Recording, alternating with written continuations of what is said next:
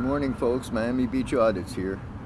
This morning I want to share with you an email and accompanying photograph uh, that I received from my congresswoman and to critique it the way John Felix does with the videos he mirrors. Okay, now here's the picture and here's the email that accompanied it. To honor Flag Day, we held a roundtable with members of our Puerto Rican community alongside Congresswoman Jennifer Gonzalez at large from Puerto Rico. Listen, you elitist bitch, I don't care where you're from. So you grew up in Puerto Rico, I grew up in New York. You were elected to represent a million people in Miami Beach in the eastern part of Dade County. Not to be Puerto Rico's vote in the House of Representatives because their representative doesn't have one.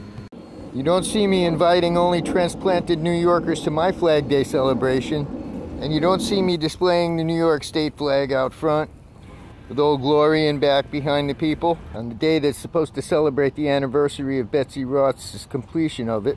The 27th district is just under 4% Puerto Rican.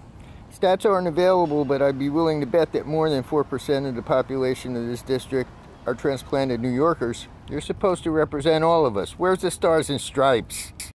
Moving on, it says she also met with the Army Corps of Engineers and delivered the commencement speech at a local college.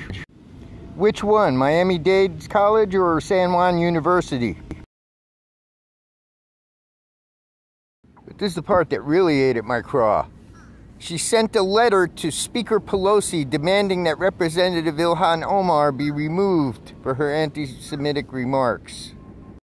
Well, it seems to me we sent you to Washington to uphold the Constitution. And what we have here is one Democratic Congresswoman petitioning another Democratic Congresswoman to sanction a third Democratic Congresswoman for exercising her rights under the First Amendment of the Constitution that all three of them swore to uphold. And these are the people we have making the laws that all the rest of us have to follow. And then we wonder why our country is as fucked up as it is. Well, this Miami Beach Audits. Thank you for letting me get that off my chest. And uh, I'm out of here. Remember to like, share, subscribe, hit that bell notification, and leave a comment in the comment section because it helps the algorithm. And I'll see you on the next one.